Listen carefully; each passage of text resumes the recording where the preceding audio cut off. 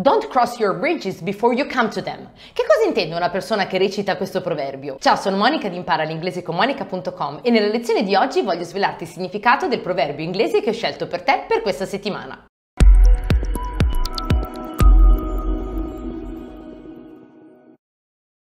Don't cross your bridges before you come to them means not to worry about something until it actually happens. Don't cross your bridges before you come to them, in altre parole può essere tradotto come il proverbio italiano non fasciarti la testa prima di romperla. Bene, per oggi è tutto e ti aspetto alla prossima settimana per un nuovo English Saying of the Week. E nel mentre ti invito a taggare una persona che ti è venuta in mente pensando a questo proverbio. A presto!